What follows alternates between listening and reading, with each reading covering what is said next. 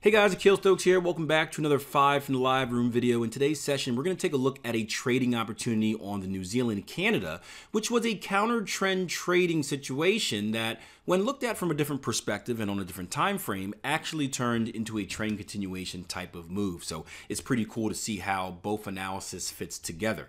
As always, if you're brand new to the show or brand new to the website, make sure you hit that subscribe button. Make sure the notification bell is hit. That way you don't miss the next episode. And of course, course, make sure to hit that like button before you leave. Okay? Enjoy and leave me a comment if you have any questions. All right, New Zealand, Canada. On the daily, same thing, IPDE process. It's forever boring. Identify where we're at, predict, blah, blah, blah, blah, blah, blah, blah. Right? We have come into a previous level, level of inside structure, not a major level um, by any means, but a significant level. And you see price has reacted, right? We've rallied up with a high momentum candle, high Momo, up to that level. We put in kind of a thicker doji candle, right? I know some people won't consider the candle at the top here um, to be a doji because they have rules and whatnot on what a doji is. And, you know, basically what I see is this. I see a, I see a wick to the upside. I see a wick to the downside. The, the price closes in the middle third right? So for me, whether you want to call it a doji or not, neutral candle, right? Neutral candle. Wick to the upside, price bounced up. Wick to the downside, price back uh, bounced down. Even though the close was was obviously higher than the open, it it it closed in the middle third of the candle. And you know how we teach it in the foundation courses, that means a neutral candle. And we followed it up with a engulfing candle this is our classic 3BR, right? Three burr, three bedroom apartment. Three bar reversal. Good sign for a reversal. And what's cool here, you won't notice this on this chart, but you see this tail on our current daily candle? What, is, what does that tell you about what happened on the lower time frame? This is why I love reading a candlestick. I'm so mad it took me so long to like actually focus on it. Yeah, it means a pullback. Yeah. So we had a breakout, we had a pullback, and now we're continuing down. Boom, this is your trade right there.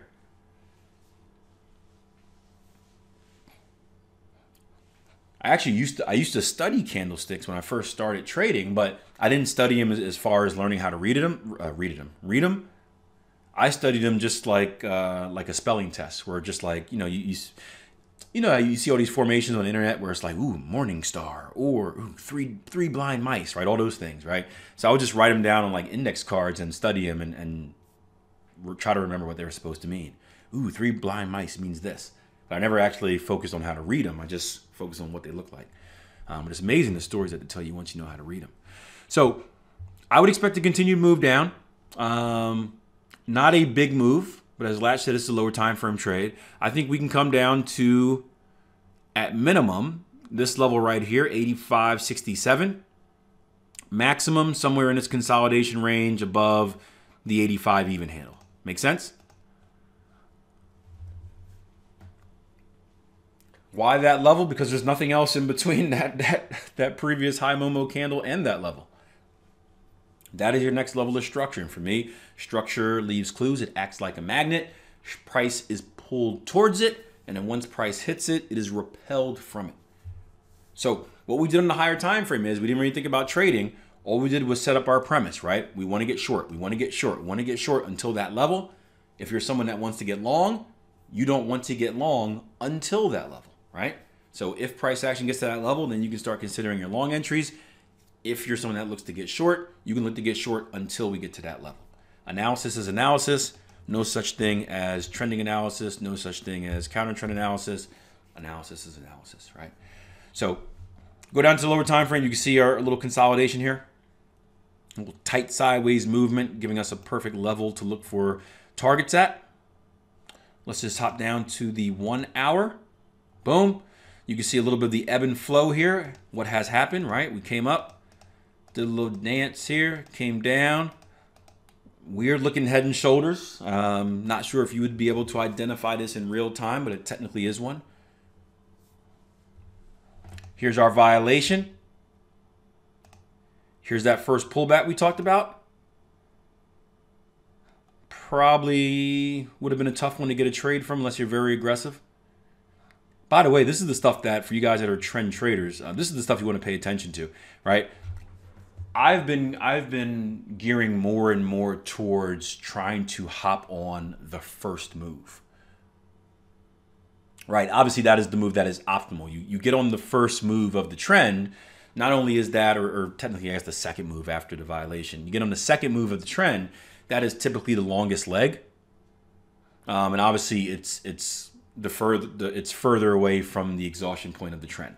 Um, that is a very good move to catch. The problem is it's also more aggressive, which means it's less confirmation, which means if you don't know what you're doing, you're probably going to be stopped out more. But as you become better as a trader and you build that intuition, remember that magic word we talked about, that intuition?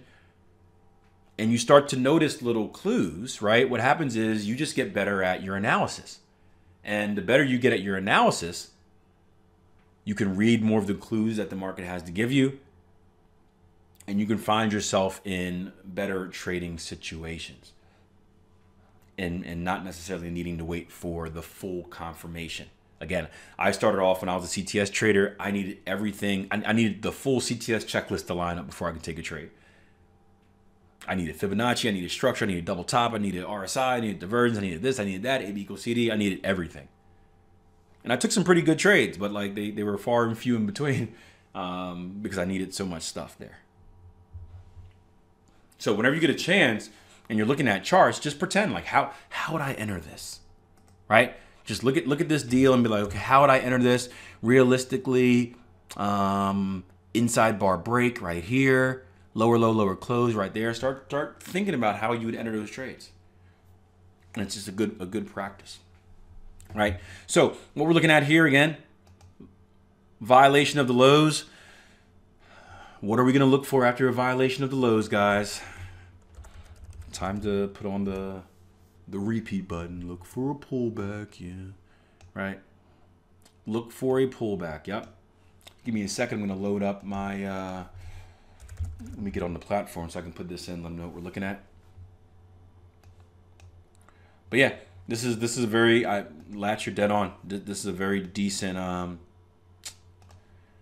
very decent intraday trend continuation opportunity. So just stare at it for a little bit. And then we're going to talk about how we can actually get involved lower. Um, but I want to get this into our pro trade log.